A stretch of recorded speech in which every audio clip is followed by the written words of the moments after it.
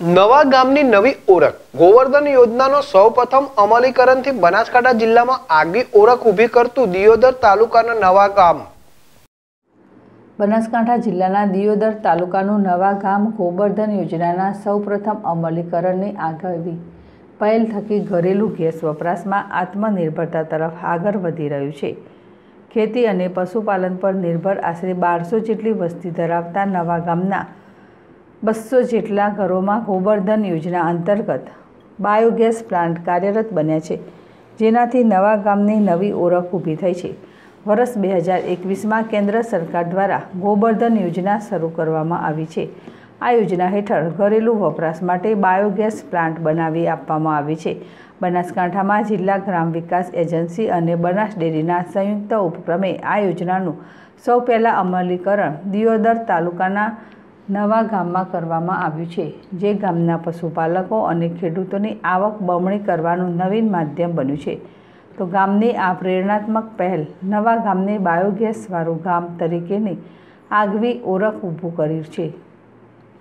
નવા ગામના ઉત્સાહી અને અન્યોને ગોબર્ધન પ્લાન્ટ કાર્યરત કરવા સમજાવનાર ડેરીના મંત્રી જયંતિભાઈ પટેલ અને બનાસ ડેરીના સંયુક્ત પ્રયાસોથી નવા ગામના બસો જેટલા ઘરોમાં બાયોગેસ પ્લાન્ટનું ઇન્સ્ટોલેશન સફળતાપૂર્વક પૂર્ણ કરી કાર્યરત કરી દેવામાં આવ્યું છે.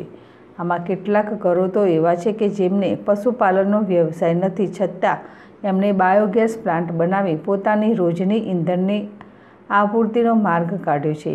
પશુઓના છાણમાંથી બનાવવામાં આવતા છાણાને સળગાવવાથી ધુમાડો ઉત્પન્ન થાય છે, જેનાથી પર્યાવરણ દૂષિત થાય છે, જે છાણનો બાયોગેસમાં ઉપયોગ કરવાથી પ્રદૂષણમાં ઘટાડો થાય છે. જેથી પ્રદૂષણ સહિત ઈંધણ દ્વારા રસોઈ બને છે, જે સ્વાદિષ્ટ હોય છે. તેમજ પ્લાન્ટમાં લાગેલ બલૂનમાં ગેસનો ભરાવો થાય, ત્યારે એમાંથી સ્લરી બહાર નીકળે છે. આ સ્લરીનો ખાતર તરીકે ઉપયોગ કરી શાકભાજી અને અનાજ પકાવવામાં આવે છે. જેથી આ પ્લાન્ટ બંધારને ઈંધણ અને ખાતરનો બમણો લાભ મળવાની આર્થિક ફાયદો પણ થાય છે. ઓર્ગોનિક ખેતીના હિમાયતી ખેડૂતો કારા સોના તરીકે ઓળખાતું છાણિયું ખાતર સ્લરી ઊંચી કિંમતે ખરીદતા હોય છે. નવા ગામમાં સૌ પ્રથમ ગોબર્ધન પ્લાન્ટ કાર્યરત કરનાર ડેરીના મંત્રી જયંતિભાઈ પટેલ જણાવે છે કે બનાસ ડેરી અને જિલ્લા ગ્રામ વિકાસ એજન્સી પાલનપુર દ્વારા ગામમાં પશુપાલનની એક મિટિંગ કરવામાં આવી હતી, જેમાં ગોબર્ધન યોજના વિશે માહિતી મેળવી મેં પણ મારા ખેતરમાં પ્લાન્ટ કાર્યરત કર્યો છે. જેથી આ પ્લાન્ટથી મને વરસ આઠથી નવ હજારનો ફાયદો થાય છે. ગેસની બોટલ દર મહિને ખરીદવાની ઝંઝટમાંથી મુક્તિ મળે છે. તેમજ છાણિયું ખાતર મળી રહે છે, જેના વેચાણથી સારી ઉપજ મળે છે. વડાપ્રધાન નરેન્દ્રભાઈ મોદી સાહેબ અને બનાસ ડેરીનો ખૂબ ખૂબ આભાર માનતા પશુપાલક બબીબેન ભરામલભાઈ ચૌધરી જણાવે છે. કે આ ગેસ પર દૂધ, પાણી ગરમ કરીએ છીએ, રોટલા ઘડીએ છીએ અને બધી રસોઈ બનાવીએ છીએ. આઠ, નવ જણનો પરિવાર હોય તો એ આ ગેસ ચાલી રહે છે અને રસોઈ સ્વાદિષ્ટ બને છે. પશુપાલનનો વ્યવસાય ન કરતા હોય એવા ગ્રામજનોએ પણ ગોબર્ધન યોજનાથી આકર્ષાઈ બાયોગેસ પ્લાન્ટ બનાવ્યા છે. આવા ગ્રામજનો ગામના રખડતા ઢોરના પોડલા છાણ એકત્રિત કરે છે જેનાથી ગામના રસ્તા ચોખ્ખા રહે છે અને ગામમાં ક્યાંય ગંદકી જોવા મળતી નથી. સરકાર દ્વારા અમલમાં મૂકવામાં આવેલી ગોબર્ધન યોજના થકી સ્વચ્છતાનો આશય તો બર આવે છે, જે સાથોસાથ પર્યાવરણ, સ્વચ્છ ઈંધણ પણ મળી રહે છે.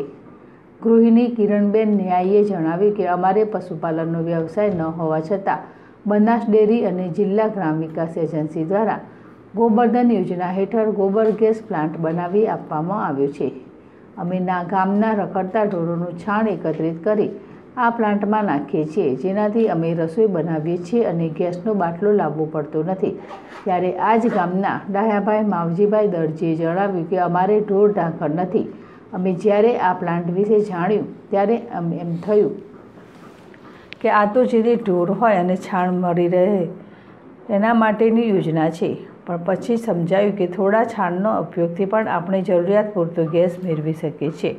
ત્યારે મેં પણ આ પ્લાન્ટ બનાવડાવ્યો અને ગામમાં રસ્તામાં પડેલ પોડલા છાણ લાવી આ પ્લાન્ટમાં નાખી રસોઈ પૂરતો ગેસ મેળવીએ છીએ. આજના મોંઘવારીના યુગમાં પશુપાલન કરતા પરિવાર માટે આ ગેસ પ્લાન્ટ વરદાનરૂપ બન્યું છે.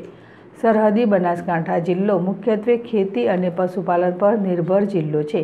તેમજ રાજ્યમાં સૌથી વધુ પશુધન ધરાવતો જિલ્લો બનાસકાંઠા છે. ત્યારે ગોબરધન યોજના ગ્રામીણ અર્થતંત્રને મજબૂત બનાવવા માટેનો નવીન ધોરીમાર્ગ અને પ્રધાનમંત્રી નરેન્દ્રભાઈ મોદીના ખેડૂતો પશુપાલકોની આવક બમણી કરવાના સંકલ્પને પૂર્ણ કરવાનું માધ્યમ બની રહેશે.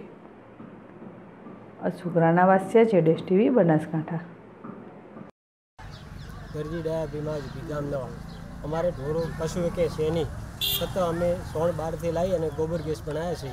અને એનાથી ઉત્પાદન સારું રહે છે અને અમારે બે ટાઈમ રસોડું બનાવે છે.